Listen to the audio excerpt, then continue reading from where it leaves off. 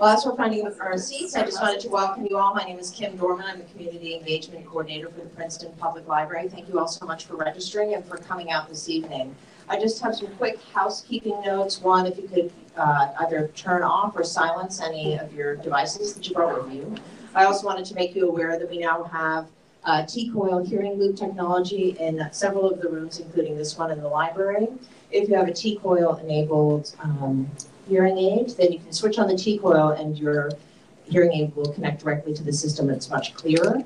Uh, that also means that any questions or any speaking we ask that you do that through the mic. So we have a microphone set up for post um, discussion Q&A. Uh, if it's difficult for you to get to the mic or you just prefer not to for any reason, you can wave uh, either myself or my colleague Jamie over uh, and we will bring the mic to you. I also wanted to thank Labyrinth uh, for being here to sell books. We have uh, both of Dr. Benjamin's most recent books, Race After Technology and Captivating Technology, the longer title. Um, and the, those books are 30 and 20. And then we also have uh, Dr. Glaude's uh, Democracy in Black for sale. So uh, they've both agreed to sign the books afterwards. It's a wonderful opportunity. Uh, so I hope you buy some books. Uh, for this evening's program, um, I also wanted to let you know that we are recording this program and hope to have it available soon. Uh, last August, Dr. Benjamin wrote to the library and Labyrinth Books to ask if we would be interested and able to uh, host her book launch in September 2019. All were included in the email responded immediately with a resounding yes. Uh, I promised Dr. Benjamin that I would keep this short. Uh, so not only is she a sociologist and associate professor in the Department of African American Studies at Princeton University, um, the primary focus of her work being in the relationship between innovation and equity, but she is a much loved, deeply admired associate professor. Everyone who's had the pleasure of uh, her teaching will say, I love Ruha. Um, and uh, to see a list of her many accomplishments, I would suggest, and accolades, I would direct you to her website. We're also very uh, grateful to be able to have Dr. Eddie Glaude Jr. Um, he's the chair of the Department of African American Studies and the James X. McDonald Distinguished University Professor of African American Studies at Princeton. Uh, many in the audience will also have seen him on MSNBC and CNN, but to his students and colleagues, he is a deeply committed and thoughtful friend and mentor. We are honored to have them both here this evening. Please join me in welcoming Dr. Ruha Benjamin and Dr.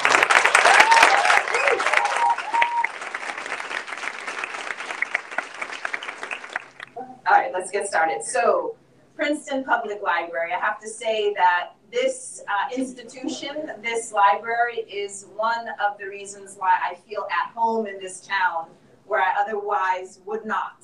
Um, within the first week, I looked at the programming of the library and thought, I can do this. I can, I can live here. This is the programming, uh, that says something about the community. And I'd love, love to thank um, Kim, Janie, and everyone who works at the library for making this place feel like home. To Labyrinth as well, another sort of institution in our town. Um, and then my beloved Department of African American Studies, without which really these works would not happen. I know that if I was not in this department, I would not have been able to produce this for many, many reasons. And so I want to thank my chair, Eddie Glaude, and Dion Worthy, who puts it all together. Can we give them a hand?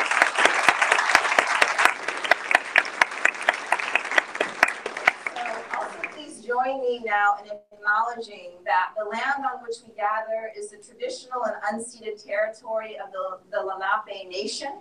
We acknowledge that academic institutions, indeed the nation state itself, was founded upon and continues to enact exclusions and erasures of indigenous peoples. This acknowledgement demonstrates a commitment to beginning the process of dismantling ongoing legacies of settler colonialism and to recognize the hundreds of indigenous nations who continue to resist, live, and uphold their sacred relations across their lands. With that, I often like to start by acknowledging that we are in community. You all, are just not sort of here for me, but for connecting with one another. And so I want you to just take an opportunity to introduce yourself to your neighbor. If you already know them, that's cool. Um, and in that introduction, maybe just share, just a minute, just share um, your favorite technology, whether it's an app or something else. And I also want you to guess who the author of this quote is, if you know. So go ahead and introduce yourself.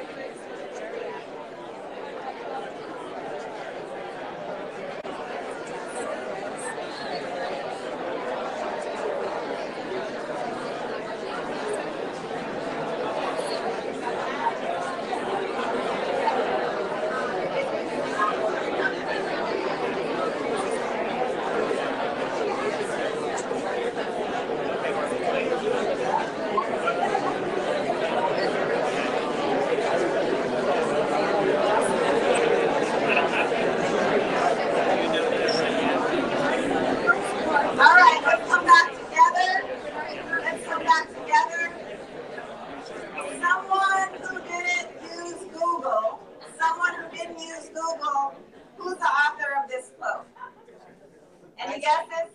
Yes. MLK. MLK.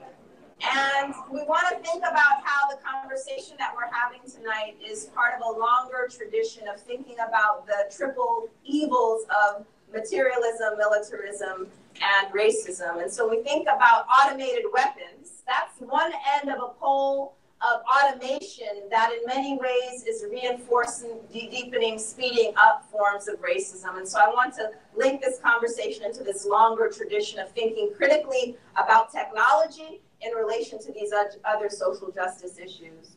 And so when we think about tech, there's a lot of buzzwords that sort of go along with this conversation. The one that is um, more rare in terms of um, sort of framing technology is the questions of power.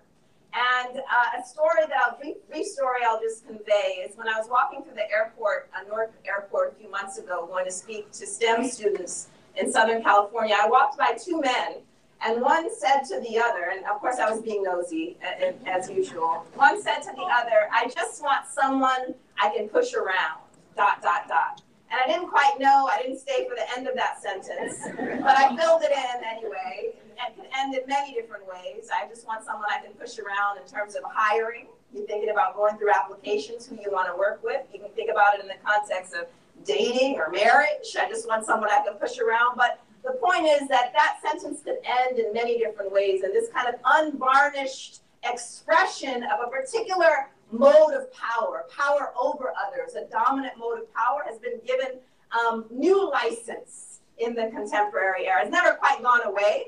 That's not the point, but people feel freer to express this particular mode of power. And so when we think about technology, that's the, the, the questions of power we need to put in the center. But we also need to understand that that particular theory or mode of power is not the only form of power, right? And so we want to think about what kinds of power do we want to engender power with others, empowering, horizontal forms of power that can counter this dominant mode of power. We think about the history of technology and what kind of power was exercised, is exercised through the most popular forms of technology. We go back to this uh, ad in 1957, Mechanix Illustrated. Here you have this article in which we're promised that the robots are coming. When they do, you'll have a host of push button servants. And in case if the font is too small, in 1863, Abe Lincoln freed the slaves, but by 1965, slavery will be back. We'll all have personal slaves again. Don't be alarmed. We mean robot slaves. And we could spend an hour just dissecting this app. There's so much going on here. Um, a few things I just want to point out. One is that it's 1957. So we want to situate this particular vision, technological vision within the social milieu in which there are many th- things that are changing in terms of gender, in terms of race, so that those who were ready to dress you, comb your hair, and serve you meals in a jiffy we're like, no, not anymore, right? Whether that be wives, whether that be domestic servants. And so in this case, technology becomes an expression of particular desires to be served. But there's one word that stands out to me in the ad. We'll all have personal slaves again, which tells you who the ad is for.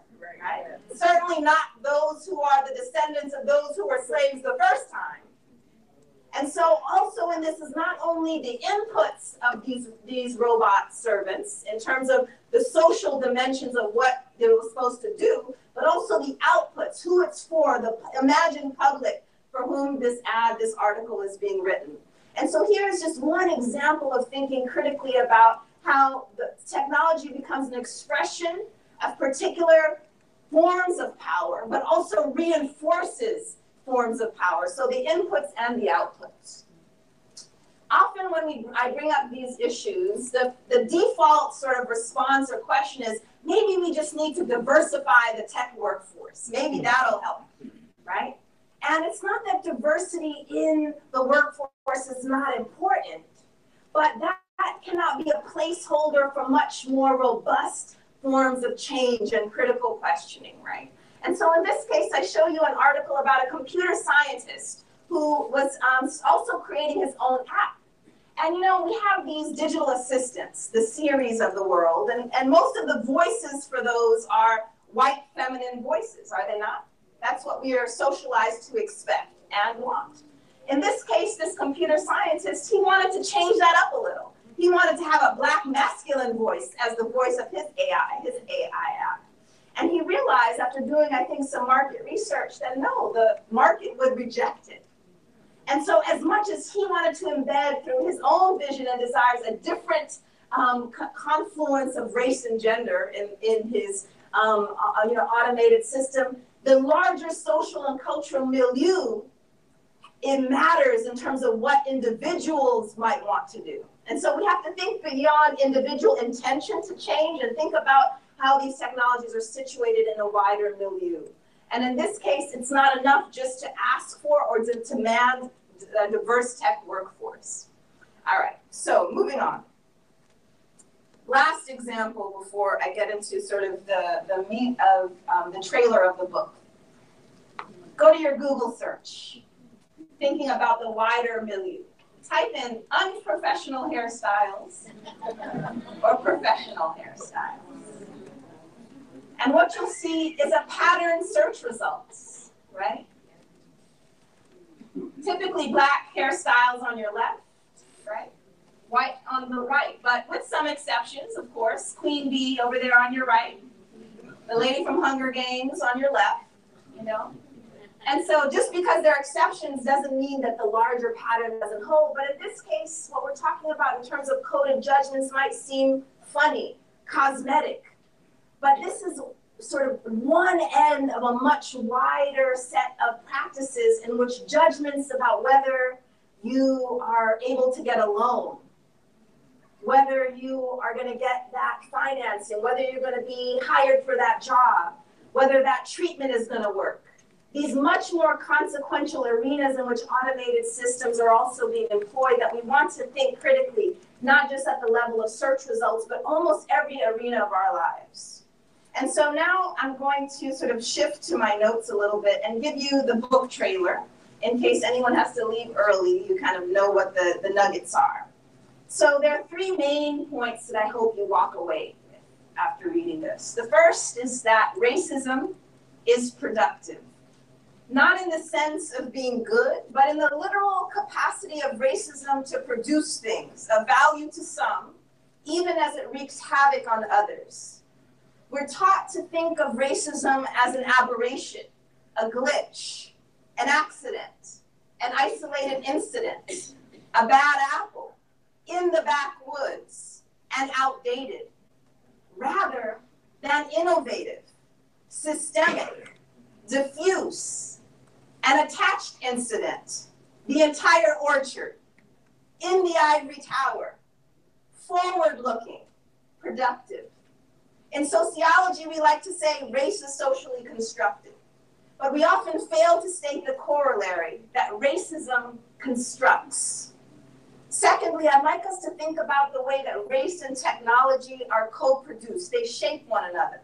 More and more people are accustomed to thinking about the ethical and social impact of technology, but this is only half of the story. Social norms, values, structures all exist prior to any given tech development. So it's not simply the impact of technology, but the social inputs that make some inventions appear inevitable and desirable.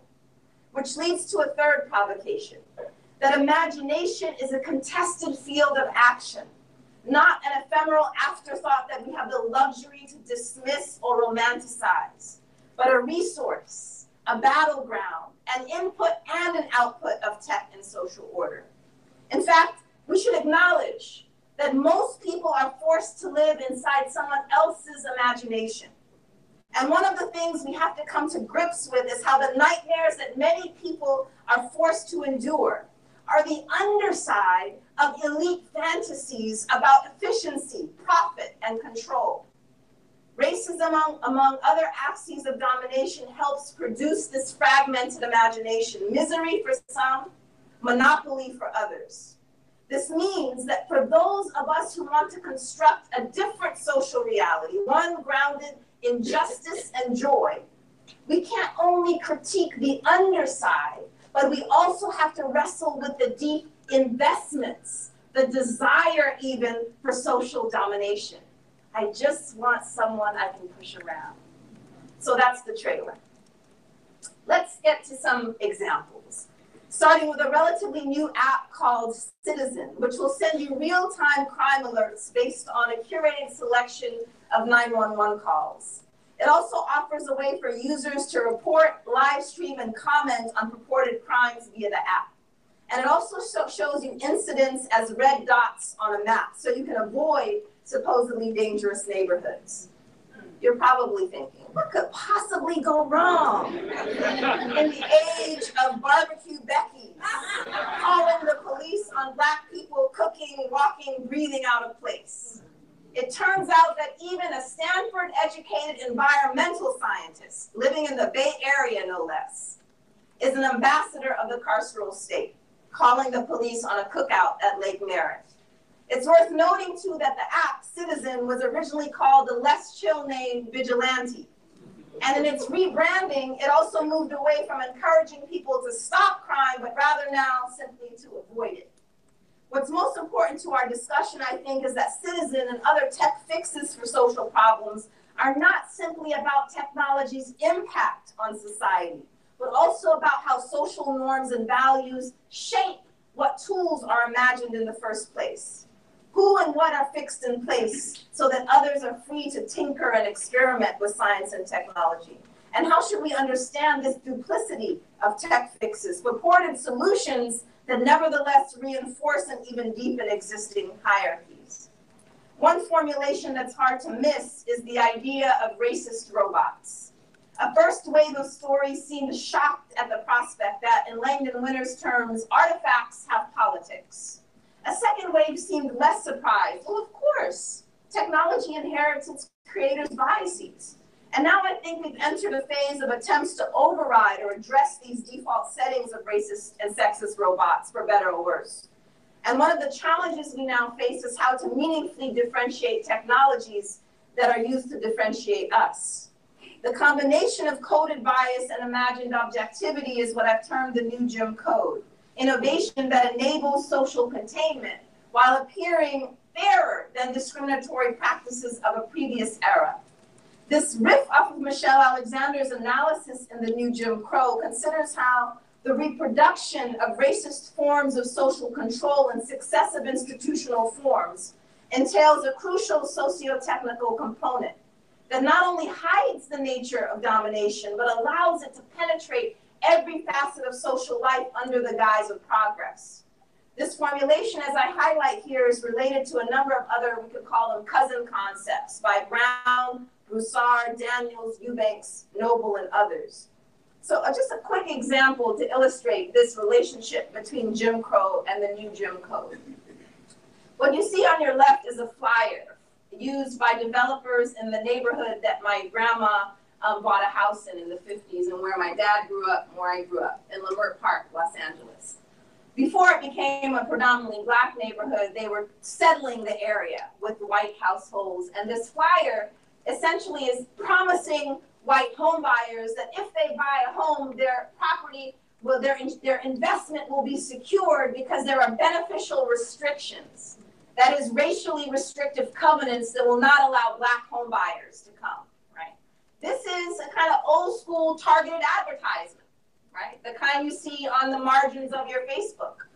Nowadays, if someone's selling housing, they can actually log onto Facebook and create an ad that will exclude black home buyers or other groups that they don't want to see their ad.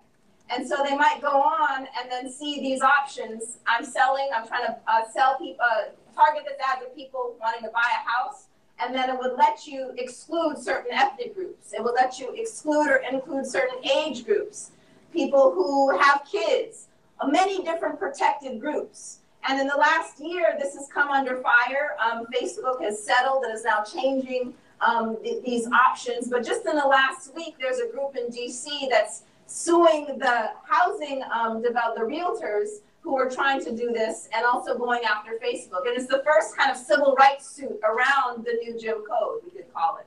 The point is that there's a continuity. Whereas before, you could see the people excluding you, right? See the realtor or the housing developer who's like, no, no Negroes may apply, right? Now it's to the back door that you don't even know when you're being excluded because you don't see the ad. And so this is part of this relationship between coded bias and imagined object, objectivity that we want to think more about. Fortunate for us, there's a lot of people sort of coming together to think critically. And I give you some of the other books that I would suggest digging into besides mine. I think about this growing field as race critical code studies. And again, this approach is not only concerned with the impacts of tech, but its production, and particularly how race and racism enter the process. As we think about how anti-blackness gets encoded in and exercised through automated systems, in the book I write about four dimensions of this that fall along a spectrum. And at this point in the talk, I would normally dive into each of these with examples. But for the sake of time, I'm going to shift gears to focus on this idea of abolitionist tools for the new Jim Code, thinking about what we can, how we can respond collectively. Like abolitionist practices of a previous era, not all manner of getting free should be exposed.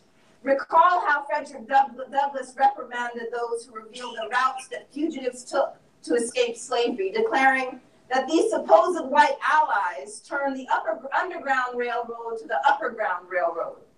Likewise, some of the efforts of resisting the new Jim Code necessitate strategic discretion while others may be effectively tweeted around the world in an instant. For example, 30 minutes after proposing an idea for an app that converts your daily change into bail money to free Black people, Compton born Black trans tech developer Dr. Kortney Ziegler added, it could be called Appolition, a riff on the word abolition and a reference to a growing movement towards divesting resources from policing and prisons and reinvesting in education, employment, mental health, and a broader support system needed to cultivate safe and thriving communities. Calls for abolition are never simply about bringing harmful systems to an end, but also envisioning new ones. After all, the etymology includes root words for destroy and grow. To date, Appolition has raised more than $137,000, that money being directed to local organizations who've posted bail freeing at least 40 people. When Ziegler and I sat on a panel at the Allied Media Conference last year, he addressed audience questions about whether the app is diverting even more money to a bloated carceral system. But as he clarified, money is returned to the depositor after a case is complete. So donations are continuously recycled to help individuals like an endowment. That said, the motivation behind ventures like Appolition can be mimicked by people who don't have an abolitionist commitment. Ziegler described a venture that Jay Z is investing millions in called Promise. Although Jay Z and others call it a decarceration startup, because it addresses the problem of pretrial detention. Promise is in the business of tracking individuals via the app and GPS monitoring, creating a powerful mechanism that makes it easier to lock people back up. Following criticism by the organization BYP 100, we should understand that Promise exemplifies the new Jim Code. It's a dangerous and insidious precisely because it's packaged as social betterment. Similarly, there's growing buzz around using virtual reality for, quote, immersive career and vocational training for prisoners to gain job and life skills prior to release. And here I'm hoping to entice some of the students in the room, especially to research companies like innovative, innovative prison systems who use VR as a tool for rehabilitation. At first glance, we might be tempted to count this as an abolitionist tool that works to undo the carceral apparatus by equipping former prisoners with valuable skills and opportunities, but only if we ignore the deeply discriminatory context that it conspires against the formerly incarcerated. So the question becomes, who is actually profiting from VR training for prisoners? And how does this technical fix subdue the call for more far reaching aims, such as to weaken the carceral apparatus or to reimagine how the labor market operates. In fact, VR is more likely employed to generate greater empathy for officers than, say, for people who are the object of police harassment and violence. According to a report geared to law enforcement, VR is, quote, public relate, a public relations tool for strengthening public opinion of law enforcement because the technology allows a user to virtually walk in a cop's shoes. Police agencies could bring VR into classrooms and community centers so the public can experience firsthand the challenges police officers face on patrol. So then, if even these empathy machines are an extension of the carceral state, what do abolitionist tools look like? What does an emancipatory approach to tech entail? One of the most heartening developments is that tech industry insiders themselves have increasingly been asking these questions and speaking out against the most egregious forms of corporate collusion with state sanctioned racism and militarism. For example, thousands of Google employees condemned the company's collaboration on a Pentagon program that uses AI to make drone strikes more effective. And a growing number of Microsoft employees are opposed to the company's ICE contract, saying that as the people who build the technologies that Microsoft, profits from, we refuse to be complicit.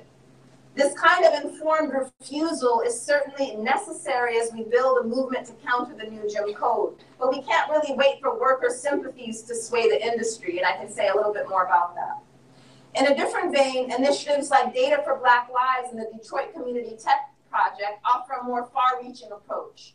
The former brings together people working across a number of agencies and organizations in a proactive approach to tech justice, especially at the policy level. And the latter develops and uses tech rooted in community needs, offering a support system to grassroots networks doing data justice research, including what they call DiscoTechs, which stands for Discovering Technology.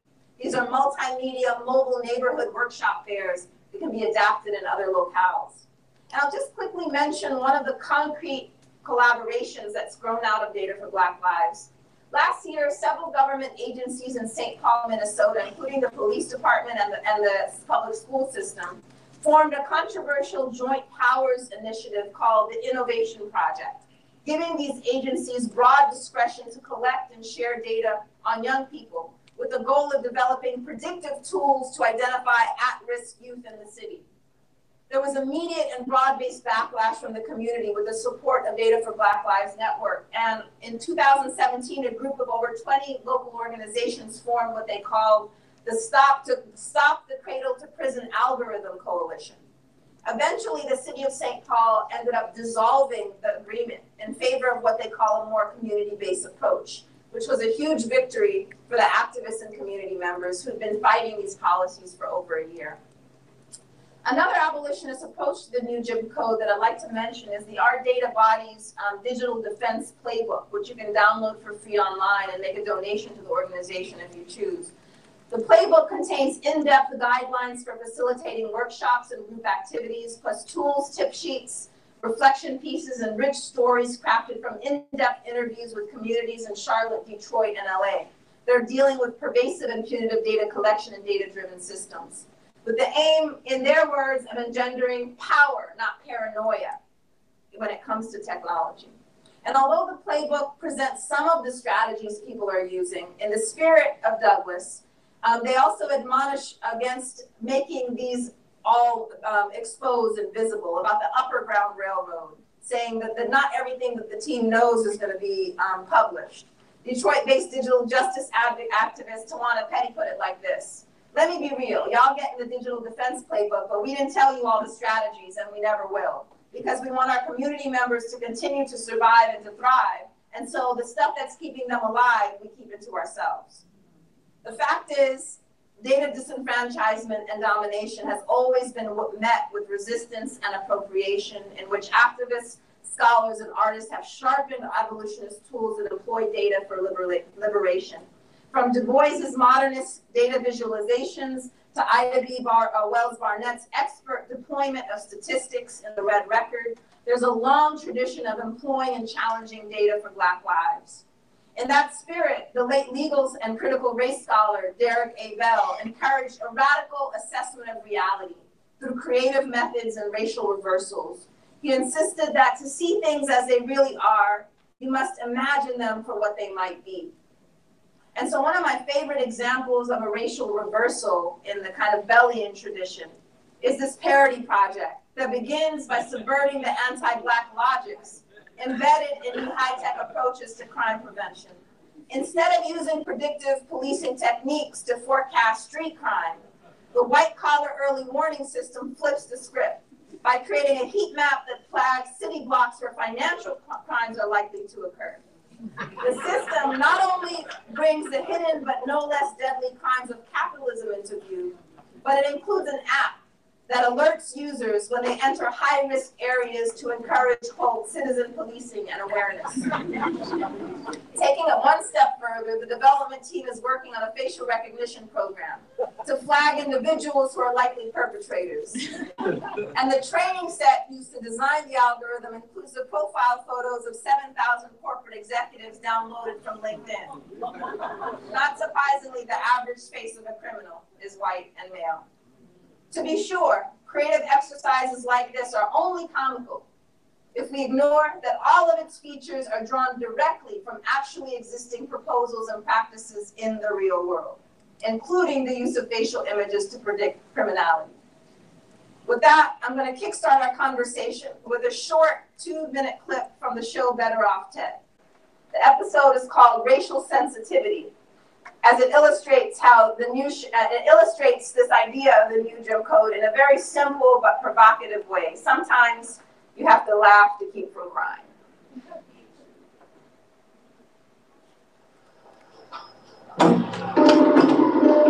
Hello? Motion sensors. Motioning.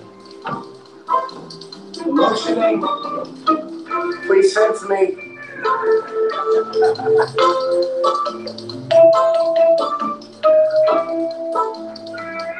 one other thing. I mentioned that there's uh, something weird going on with the motion sensors in the lab. Oh, yeah, we replaced all the sensors in the building with a new state-of-the-art system. It's gonna save money.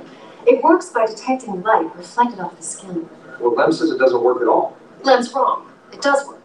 Although there is a problem. It doesn't seem to see black people. The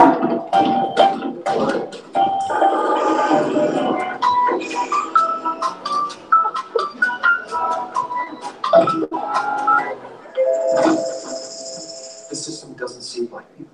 I know. Weird, huh? That's more than weird, Veronica. That's basically well, racist. The company's position is that it's actually the opposite of racist because it's not targeting black people, it's just ignoring them. They insist the worst people can call it is indifferent.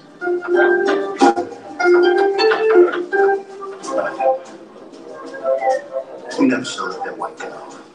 Great weapon and metal. Of course, the white guy's gotta get off.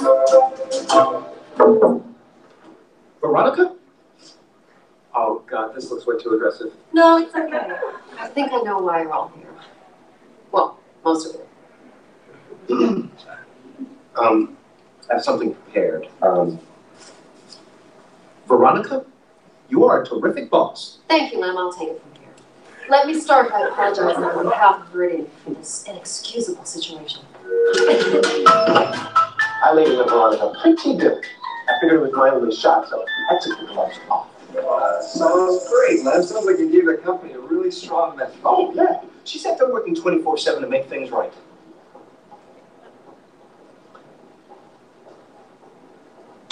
Can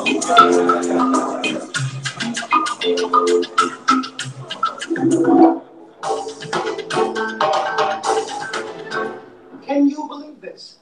I know, isn't it great? We all get our own free white guy. You like it? Yeah. Hey, Ty's the best. He anticipates everything I need. Plus, he picked up my dry cleaning. Oh, and he got this king item in there. Really? Mm-hmm. Oh my God, sucks. So maybe you're just not using yours right. Yeah, maybe it's on you, dude. Shut up, Stu. We have the worst black.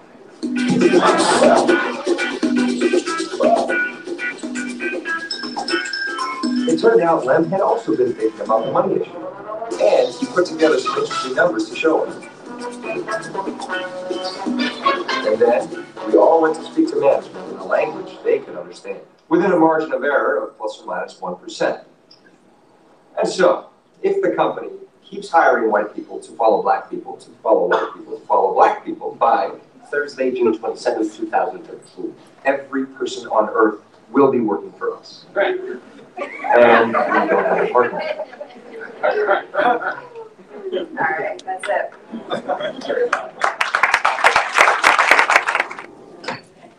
You guys okay? Yeah, it sounded wonderful, right?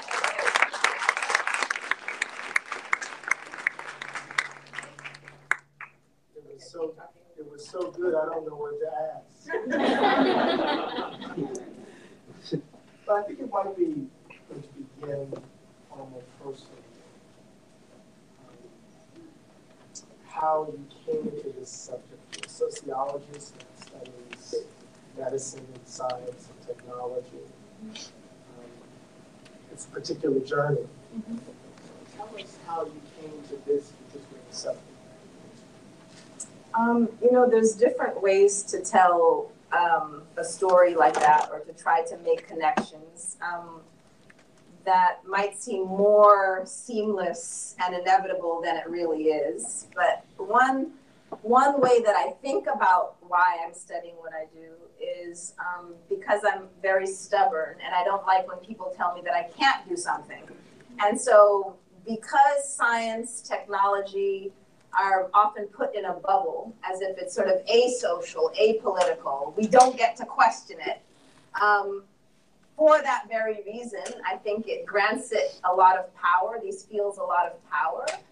And we are not socialized to question it as much as I think we need to.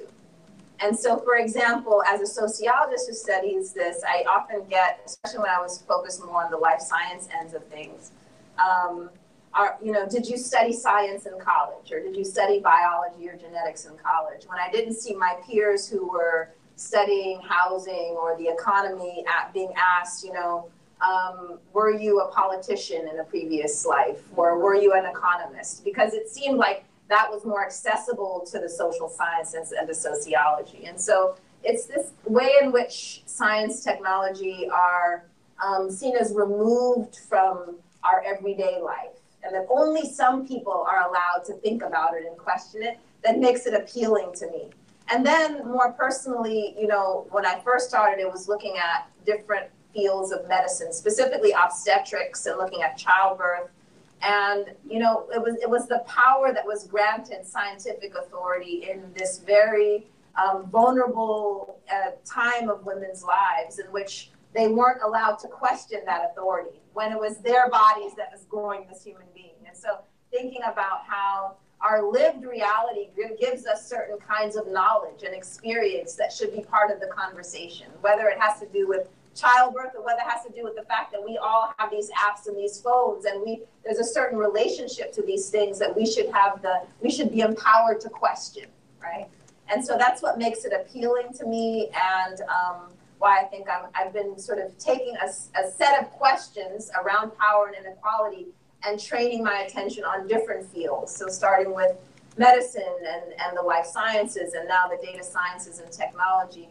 At the heart of it, it's the same sort of kernel of questions that I'm sort of putting as a lens onto various fields of action. So this emphasis on lived experience actually opens the text Mm-hmm. in some ways, right? That's right. Right, so you, you begin this, the, the, this, this extraordinary book, and you almost buy it by uh, you begin, you begin this extraordinary text with talking about being at your grandmother's house just off of Crenshaw Boulevard in Los Angeles. And that kind of sets the stage for the way in which you uh, unpack the new, new Jim, Jim Code. Talk about why you begin there Yeah. and how it opens up the argument of the book. Yeah, it actually, you know, the preface grew came much later in the process. And it came after I was engaging this organization called the Stop LAPD Spying Coalition, which is a grassroots organization in Los Angeles. And they produced their own research by interviewing members of the community about their experiences of policing and surveillance and produced, you know, published documents. And one of the things that I took away after reading that was their emphasis that people know things. They know what it feels like to be watched. And that is a form of knowledge that needs to be part of these conversations of policing and surveillance and tech, tech innovation. And so from there, they kind of put a mirror up to me and made me think about what it was like to grow up in the very neighborhoods that now they are researching and how a, a, a everyday experience on Fourth Avenue was the rumble of those police helicopters up to today that you just get used to. Everyday experience of walking up the block to school and seeing kids lined up the fence and getting patted down. So normalized. So these are the kinds of policing that are in your face, right? Um, and so for me, it was thinking about the continuity there between the stuff that's so obvious to the more insidious forms of being watched that are about cameras and facial recognition and predictive policing and risk scores and so on. And so it's trying to draw a connection to the very populations who have the experience of the more obvious forms of surveillance and policing really being left out of the conversation about all of these high tech innovations when it comes to not just um, police work, but almost every arena of social life. And so that's the, the connection. You, you, you make this interesting move. You, you, you say that race is a technology. Mm-hmm. And at first, when I first read it, I, it was jarring. Mm-hmm. What do you mean by, by, by that? Yeah. I mean, if part of it is to think about what we are taught race is and how it operates. And the dominant mode of thinking about race and racism as, as an interpersonal um, encounter and where um, forms of, you know, antipathy and feeling and emotion um, are expressed through, for example, racial slurs or microaggressions. And all of that is true and right. But by thinking about um, race and racism at only at the level of emotion and ignorance, um, that we, we kind of forget that the set of practices um, we choose to exercise and employ. We use it to do certain things, to get certain things. And so by talking about it as a technology, which means in the generic sense of as a tool to do things and make things in the world, it brings that element back into the conversation. So then we can ask questions like, who benefits from the employment of this tool in this arena? Can we use this tool to do something else that it wasn't intended to do? And so it just gives rise to a different set of questions by placing that lens of technology and praxis onto what we often um, think about as, um, you know, hurt feelings and mean words, um, which still happens. Um, but I want us to become a, make the the practical and praxis aspect of racism a little more um, evident.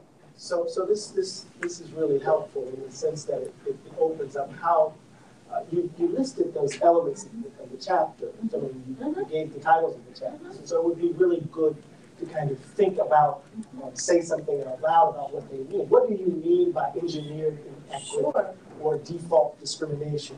I love the chapter on coded exposure. It's really, it's really striking. So say a little bit more about Sure. engineered inequity. What do you mean? by? Sure, and I should say that like that, the, the, the chaptering in that way grew out of feedback that I got from colleagues who were reading earlier drafts.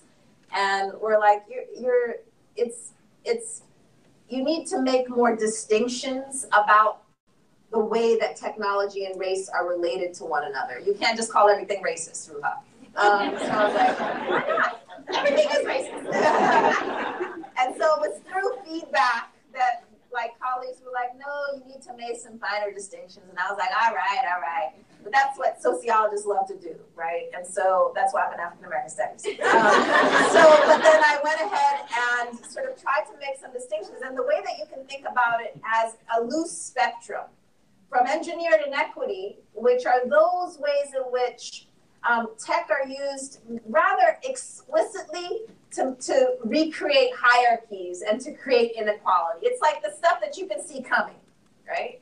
And so it's important to acknowledge those. Those still exist. We have all kinds of um, scoring systems, for example, um, that are, are trying to um, continue the quantification of social life, but that even have even more consequence for if you're highly ranked or not highly ranked. And so it's very obvious that it's trying to create certain kinds of hierarchies that often overlap with the social groups that we know. so that's on one level, one end. And then when you start to go through the chapters, it becomes less obvious and more insidious the way that tech is being employed to um, reinforce social um, social inequity.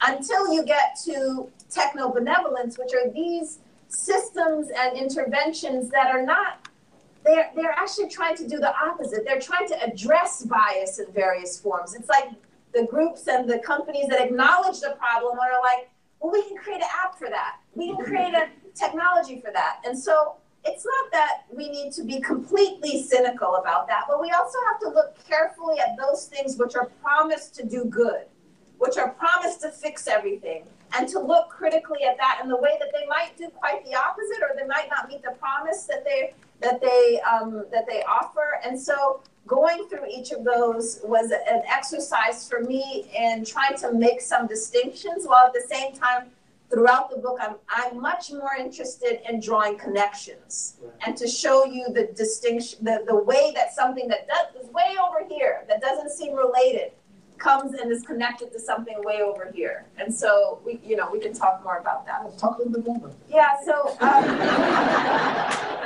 and so again it's like you know my training in sociology is like let's create a, a graph and let's let's put everything in boxes so that we can categorize everything. Like that's the training.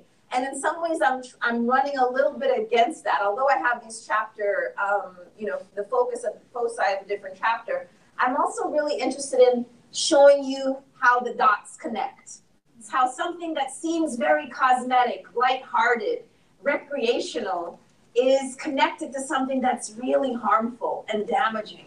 So that it's not really about drawing a bright line between those things, but it's about the, the connectivity, how the logics within those things might be the same, even if the outcome looks different. So one, one example that I talk about that many of you may have seen when you go to YouTube that had a little circulation a few years ago was when you go to the automated um, sink, you know, and how um, a lot of the, these systems, the soap doesn't come out or the water doesn't come out, right?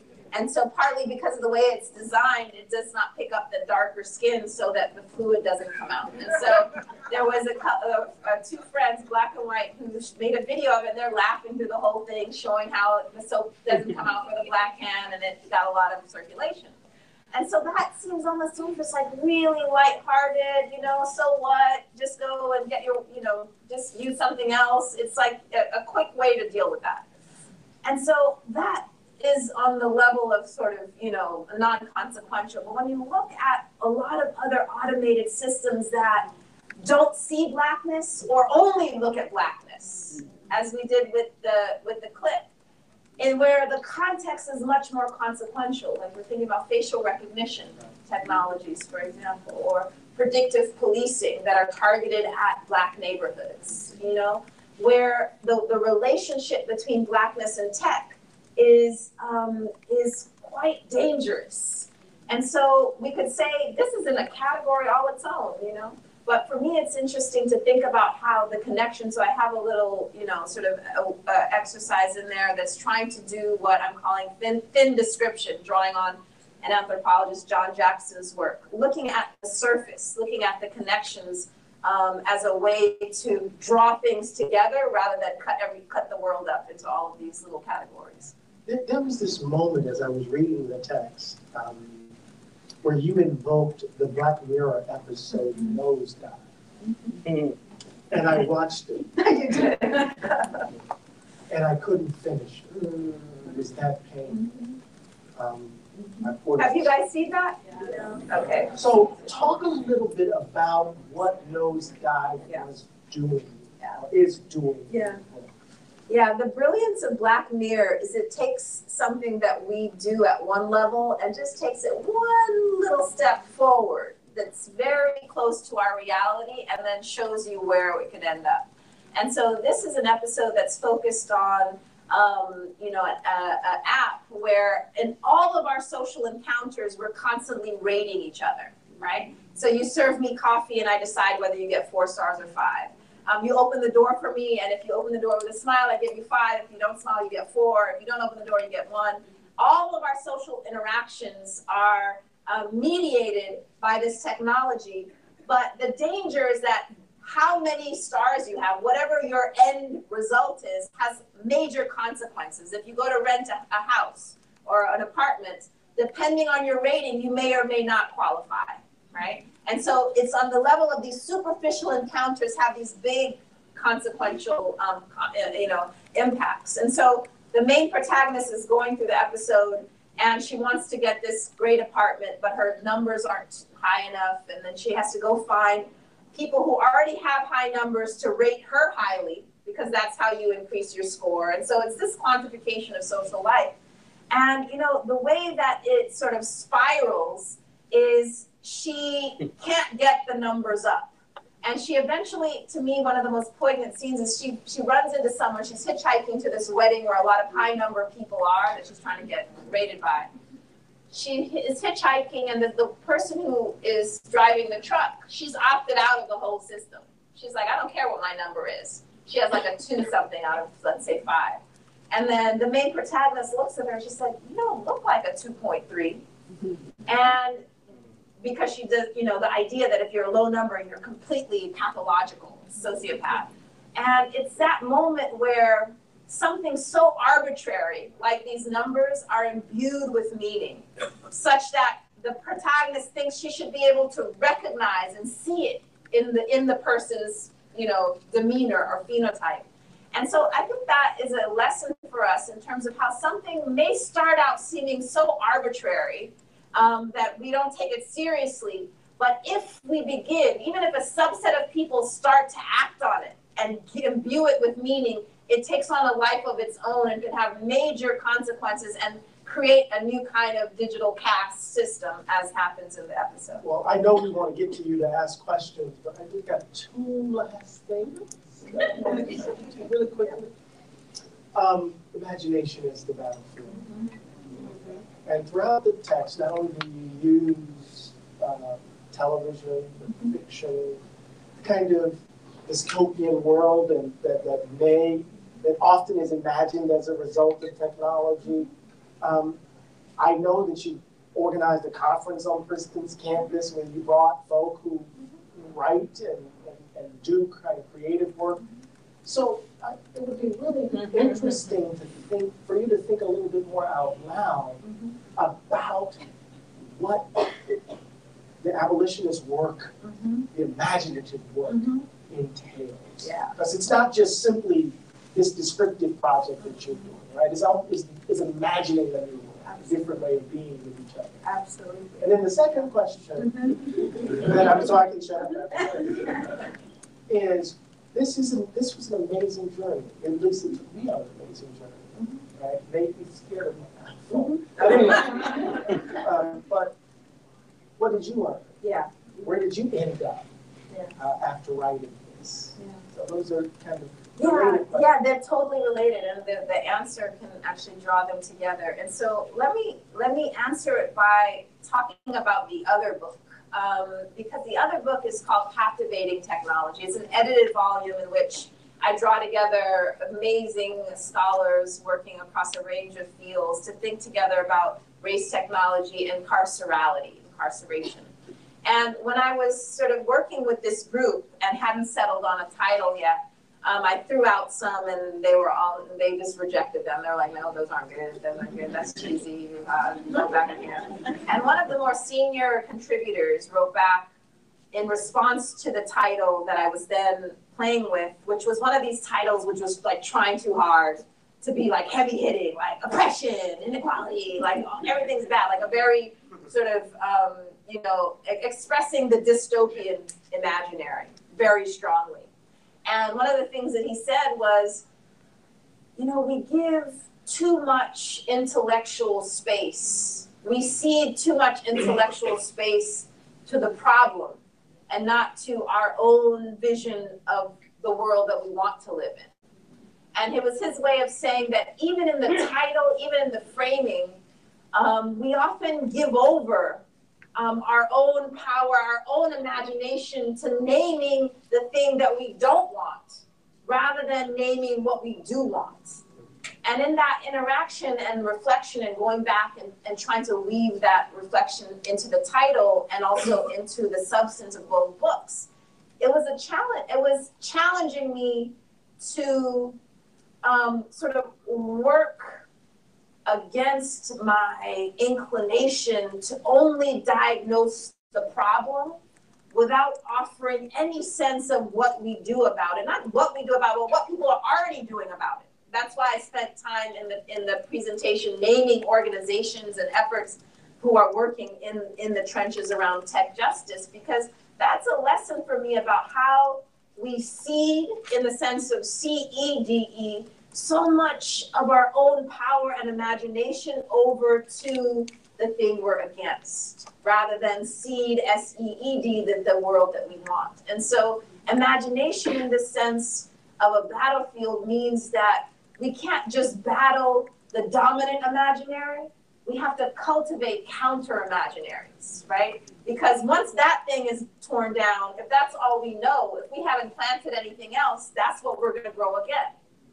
And so it matters that we actually put the frame and put the light on those practices that nourish us, that fuel us, that give us joy, that you know do the work of rebuilding, not just um, tearing down. And so that's the import of imagination for all of us, and that's also what I learned through the process of these two books is that um, I can't just diagnose, right? I have to actually work with people and organizations who are who are trying to um, make us better.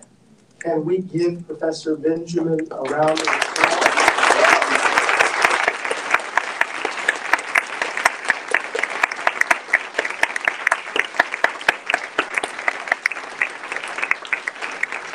He he describes this book as a field guide, as a field guide. So it's not only an extraordinary account of the relationship between race and technology and its challenges, but it's also uh, a kind of uh, marching orders for what we ought to do. So with that in mind, we're going to open it up to the audience uh, because of uh, we need you to talk in the mic.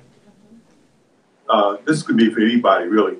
Uh, I'm just curious, and you know, as a as a religious leader, why don't we include or ask the question about religion and race?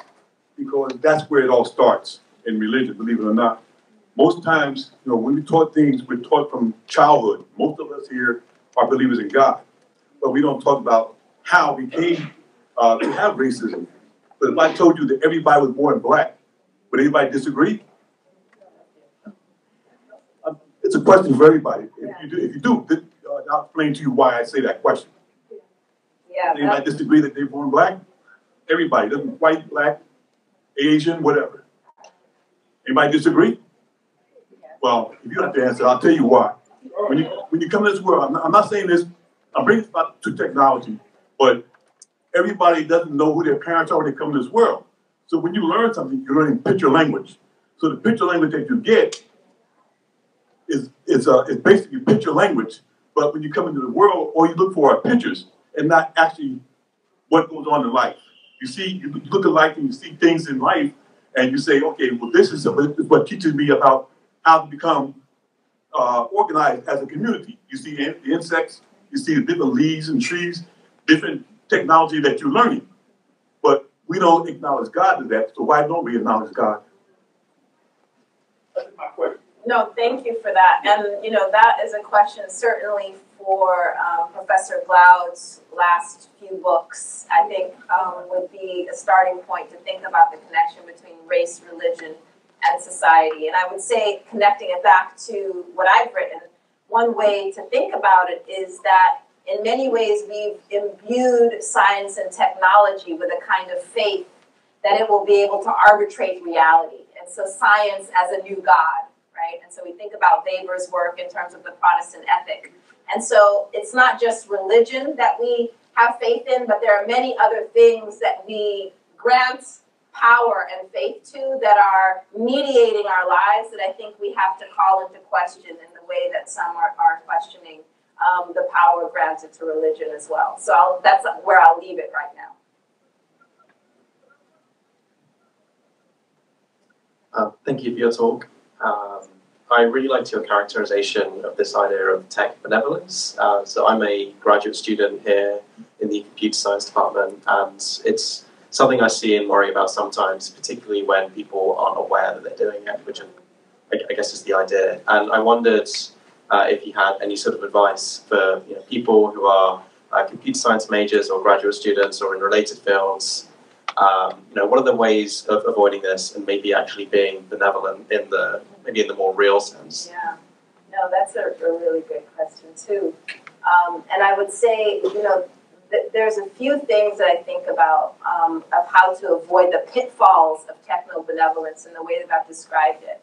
And one of the one of the important sort of dimensions of that is to be in relation and situate yourself in the communities that you, you imagine your technology is going to help, rather than closing yourself off in a department or in, in the academy and coming up with solutions in isolation without actually talking with and getting your marching orders from the groups that you're meant to serve and help. It will be a starting point so that your tech fix, um, it, it's very presumptuous often to think about what you're fixing in isolation and not in conversation with the communities that you're you're serving and you're working with.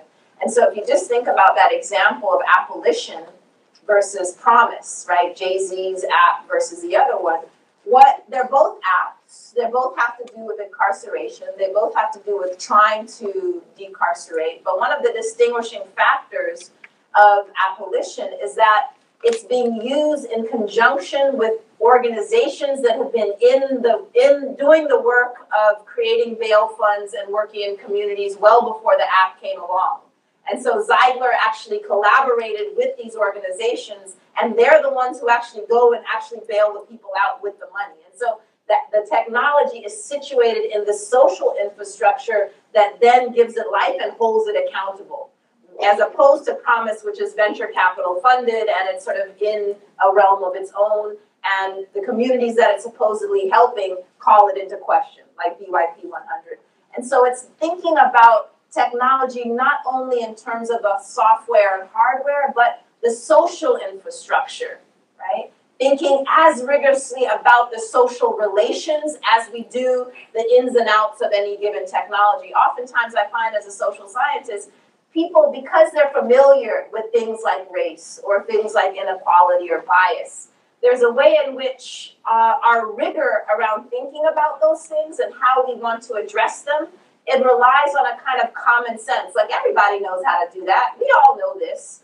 As opposed to thinking as seriously and rigorously about the sociality as we do the technicality, right? And so that's part of um, it's a reflection also of the inequities in the academy about which fields and which departments are granted more authority, given more resources. And so it's, it makes sense that someone who would be trained in a STEM field would think they could solve all the world's problems without talking to anyone who's working in communities or even a sociologist who studies those things because that, that you're socialized to think of hard sciences versus soft sciences even in our nomenclature, we create categories that rank different ways of knowing the world. And so I think part of it, you know, I see happening institutionally is something called um, public, uh, what is it called? Uh, public uh, interest technology, like public interest law. Public interest technology are these centers and organizations that are springing up across both the academy and the nonprofit sector to think about how we want to train people differently within STEM to think about their relationship to various kinds of publics as one example of how our training has to change for these other things that I'm describing. Um, and so I'm really glad that you're thinking about that. And there's a lot happening um, um, at Princeton and beyond to try to begin to, to deal with it at the level of pedagogy and disciplinary, disciplinarity. Uh, thank you, Professor Benjamin, for your talk. That was very fascinating. I have sort of a, a similar question, um, but I think so. You talked a lot about. I found it very interesting. You talk about like um, sort of technology. This technology is productive in some way. There are efforts like Appolition or like diversifying the tech workforce and so on can like produce new ways to use this technology. So my question is, what is what is sort of the anti-racist plan for like an everyday user of technology? Because it seems to me like the user is sort of very passively interacting with this this entire you know field Yeah. that you're describing. Even in the even in like the clip, it's Yeah. like these users they have no choice but to use the technology. So I wonder what what the counter imaginary is for like an everyday person who just has to exist. Yeah, I mean, it's a great question. It's one that I, I appreciate when people ask because it's a question that grows out of like wanting to do something as an individual, like right away, right? And so it's an action oriented question, and I really love it. And at the same time, my response is that an individual response to this is inadequate. Uh, the, the, the, the desire to individually opt out of certain systems is kind of like, and I've heard my you know, Professor Glaude describe, you know, dealing with climate change by just individually recycling, right? As opposed to thinking more macro, more in terms of the, the, the big organizations and companies that are complicit and holding them accountable and changing their practices rather than just thinking we as individuals need to change ours, right? Which it has a role. One story I give in the book is of my colleague in sociology here, Janet Vertesi. And she's a sociologist of technology. I don't think she's here, but I'll, so I'll tell her business. Did I write about it? I got permission. Okay.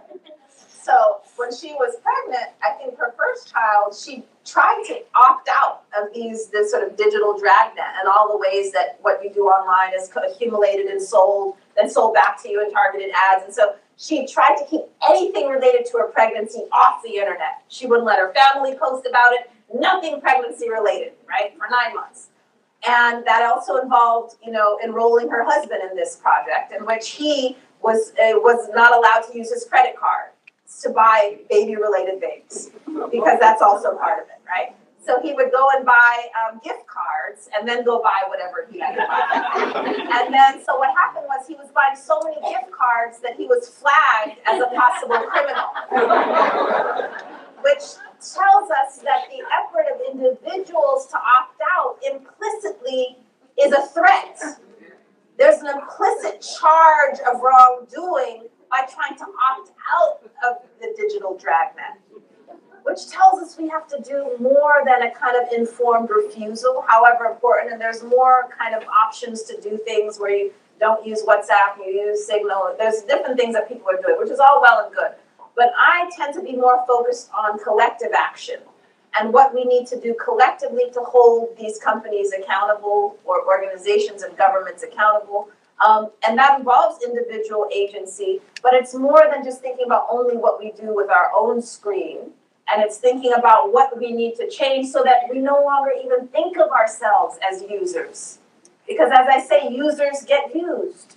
And so we are more than users. What's happening really is the decisions that are happening behind closed doors in terms of private companies, these are public policy decisions that are happening and, and taking place by people who don't have a mandate, who are who we didn't elect. But their decisions have these ramifications in terms of public policy and the public good that I think should begin to have us change our own thinking about ourselves in relation. That, you know, who are we? Are we just users, end users who then have to deal with the, the decisions of others, or do we want to try to shape those decisions and hold hold um, you know hold these organizations accountable? And so that's a roundabout way of saying that yes, figure out what you can do as an individual in terms of your own specific, you know, um, relation to technology, but also think about collectively what organizations can you support, get involved with in terms of tech justice and other and other things. Thank you so much for your talk. It was, I didn't really know what to expect, honestly, because you think racism, technology, you know, what, what does it all mean? Um, one thing I would like to say, racism enrages me in a way that is just so like to my core. Um, and I like to think that if I wasn't a black woman, I would still be just as enraged. I like to believe that. But I kind of think of black people as kind of the beta group when it comes to the pains that technology inflicts on society. And I want to be optimistic like the young man and speak about the benevolence and people are conscious of that. But I look at white people and I say to myself, racism scares me. Why doesn't it scare you? Because we're the beta group. So we're, we're already at the bottom. So helicopters in our neighborhoods, it's it's you're you're five years away from it. So, you know, I, I want to believe, yeah, you know, for moral reasons, mm-hmm. you should be offended. But practical reasons, why aren't you offended? Because, you know, I was a kid in the 90s. I remember when Chicago schools were getting shot up and Philadelphia schools were getting shot up and everyone was kind of like la la la, I'm mowing my grass on Saturday morning, no big deal. And and, and look where we are now. I remember, I, well, I don't remember the, the, the crack era per se, but you know, I, I, I grew up in hip hop. Like I was there, guys, at the beginning, and that was all a reaction to that. So I don't know what white communities will artistically produce because of what they're going through, but it's like racism enrages me. It should really enrage you. Maybe not for the reasons I should hope, just for the moral reasons, the, the, the ethical reasons, but it should it should scare you because you know. No, thank you for sharing that. And I think, you know, there's so there's so much there. And one of the things I, I just want to um, acknowledge is that anger in the way that you're expressing it, it can be productive, you know. And so one of the in terms of channeling and fueling different types of work and interventions. And so I think the response often when people give voice to that is to try to dampen it somehow and say, well, you know, let's be more reasonable. Let's reason this out and think. and I think that that's a that's a faulty response in the way that anger can be actually channeled, um, especially with respect to racism.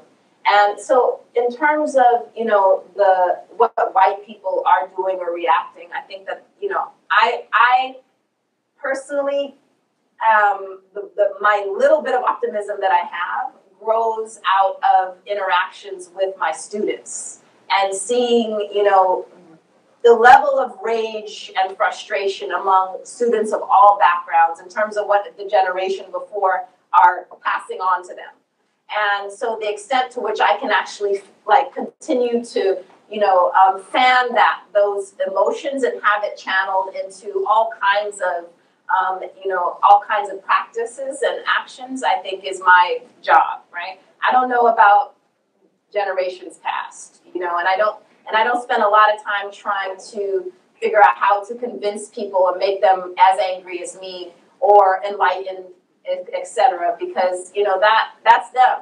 You know that is on them. And so you know, as much as I appreciate the the focus of that, um, I think you know, in some ways we have to work with what we have. The people who are already about it, and just build build from there. Thank you.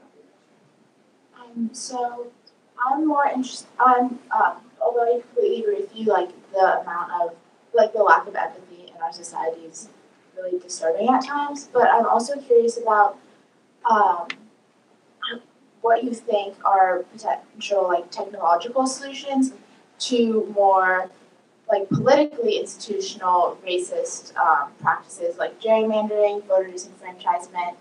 Um, like as someone in my generation, I'm super interested in um, just kind of making things more equal, um, equality of opportunity, um, like criminal justice reform, but how do you think, from a technological standpoint, like we can kind of mediate? Yeah, I mean, you know, part of the shift that um, I would like to see more of are technologies that are not focused on identifying and predicting individual risk, which is what many of these technologies are designed to do to identify individuals' risk of defaulting on, on a loan or committing a crime or whatever it is, the riskiness of individuals, and actually focus both our social and technical capacity on identifying and intervening in the production of risk by institutions, like political institutions and others.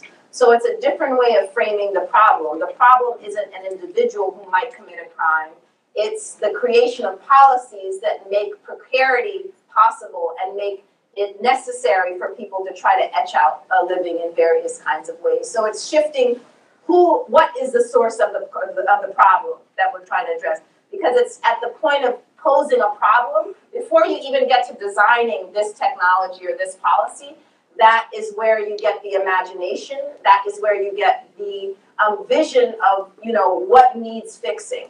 And so what if we focus less, as the white collar crime um, example shows us, on, you know, an individual's likelihood to rob that store versus, you know, the, the inequality in a particular area and the, and the, the practices of the banks in a place that don't give out loans to everyone, et cetera, et cetera. So it's looking at institutions and their production of risk rather than an individual's response to that context that makes them labeled risky.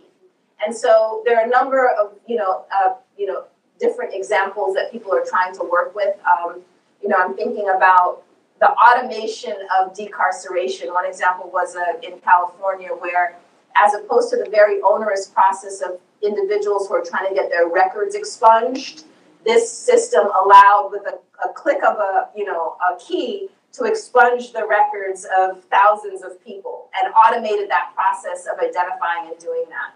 And so that's a way of thinking about what's the problem that we're trying to solve, what are we trying to automate? And it requires, you know, a, just a, a different way of posing problems that matters in terms of who is doing the envisioning and who's doing that. that. Uh, Professor Benjamin, thank you so much uh, for your work and your words here tonight. Uh, on that theme, I wanted to ask a little bit about your thoughts on uh, organizations and, and, resistance movements that use technology to almost counter surveil the police. Mm-hmm. I'm thinking Copwatch, mm-hmm. Rapid Response Networks, denouncing uh, uh, police raiding checkpoints avoiding stepping into the ground of Upper Ground Railroad yeah. uh, traps and understanding the discretion needed there. But I'm wondering what you think are some of the possibilities for that in the future, whether it's in expanding, if there are any pitfalls uh, to yeah. consider of in developing those technologies. Yeah, and so that's exactly one of the tactics used by Stop LAPD Spying, is that they will go to like a Mayday rally and film and interview police officers and ask them about the technologies that they use in communities get their responses on camera, and cut to footage of the very technologies that the police officers claiming they don't use actually being used. And editing in this way that you can see that their responses actually run completely counter to what's happening, right? And so they do employ this kind of surveillance, as Simone Browne calls it, the kind of watching from below. Um, but similar to what we've seen happen with um, cameras that officers use just exposing a problem doesn't lead to the, the, the obvious next step that we think people are going to be held accountable. So if you just input a technology that is doing the watching and everything else stays the same, all of the decision makers stay the same, all the rest of the system stays the same in terms of who gets to get off, who gets held accountable, who makes the decisions, then just seeing a problem is not going to necessarily lead to that next step in which people are going to act on it in the way that we might like to imagine. So, as much as the kind of seeing from below is one step towards change, if we think that that's the end all be all, that simply putting the camera on the wrongdoers is going to be enough for, for um, you know, certain kinds of shifts and transformation, um, we have plenty of evidence precedent that shows that's not how, how things happen. Oh. Thank you so much. Um, that's great. Um, I feel like this could be like question mush, so I apologize. but, um, uh, first um, thing I was thinking about um, was I don't know if you uh, followed the um, some of the um, fallout from the proposed Uber ban in New York um, for the reduction of um, Ubers in the city was uh, one of the things that Uber listed as one of the reasons that um, the council should not pass the ban was that Uber was this anti-racist technology, um, and that they were, you know, giving rides to black people when cabs were not stopping for them, and that they were going to neighborhoods that, you know, were, were where more black people live um, at, at rates that cabs were not going to. Um, so how do you how do you how do we navigate um, these moments where um, something like the possibility for an uh, you know anti-racist technology um, bumps up against a, a, very different kind of um, your relation to technology. Um, and maybe like a, a, flip side of that question would be something like um, how do how do we also stop or, or, or disrupt the idea that I feel like was um, you know sold to us after um, the 2016 election, which was that somehow like you know the technology of automation had been racialized to produce like white anger. Like how, I was thinking about that too. Yeah. Like, how do we stop this idea that somehow like you know um, this kind of politics of whiteness that is also the result of you know automation or technology? Like how do we sort of make that more? Those are two um, dissertation level questions, at least master's paper um, provocations. I'm, I'm gonna, I might get around to the second one, which is, I can, lots of great work being done around that, by the way. But just, let's stick with the first one for a second, because it's a really great example of, of a techno-benevolent gesture about why this technology is good because it's doing this one thing. And um, one, I believe that there is research to show the way that the app, uh, um, the way that in, in drivers can actually not go to certain areas once they see, you know, where they're going based on the dangerousness or whatever. So there's a way in which it facilitates the old school kind of racism through the app as well. So I think that's one dimension. But I think what the the way that you framed it and the way that they've sort of framed the promise of it is important because if you only sort of pay attention to one line of re- reasoning or one axis and you don't think about it in this larger context. And then you can easily sort of drink the kool-aid in terms of the tech promise. And i think that one of the important you know dimensions that you're bringing up is the labor required for automation. Most of the things that we our promise is automated there are people doing the work right? There's a, a whole set of labor practices that we want to expose and bring to the fore, whether it's Uber or whether it's just what you see on your computer screen. There's some great work that's been published recently about like content moderators, the people who sit in facilities and remove uh, bad content so it never you know it never gets to your screen and the toll that takes on these people of seeing the worst of the worst that people po- uh, post. There's a great new book called Behind the Screen that's based on qualitative research with content moderators. Essentially, these companies um, outsourcing this to you know other companies that hire armies of people to sit in in um, you know warehouses doing this. And there's a film on Netflix called The Cleaners, which focuses on one such um, facility in the Philippines. And so part of what we want to think about is not just our experience as users of an app like Uber or of a search engine, but what is happening behind the scenes, right? Who is being displaced or harmed in terms of the labor practices that make this very the ease and the efficiency that we might experience possible. We can't divorce our experience from that the production of these technologies. So if that happens to be sort of putting you know, thousands of taxi drivers out of work.